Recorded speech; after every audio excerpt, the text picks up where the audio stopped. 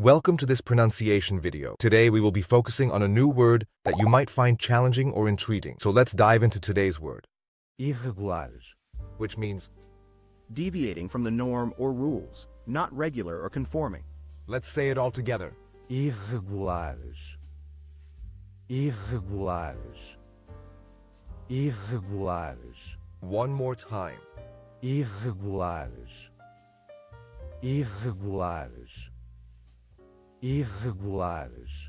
Thank you for joining us on this adventure in pronunciation. Remember, language is a journey, not a destination. Keep exploring, experimenting, and expanding your linguistic horizons. We'll see you next time.